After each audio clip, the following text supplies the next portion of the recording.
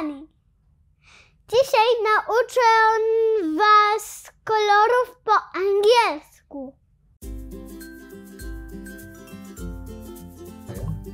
This is a red car. This is an orange pen. These are yellow bananas. This is green paint. This is a blue camera. Smile. These are purple gloves. This chair is black.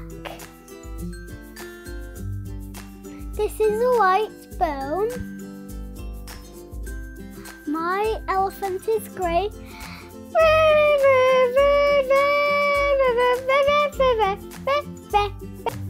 This is a pink bucket. This is brown chocolate.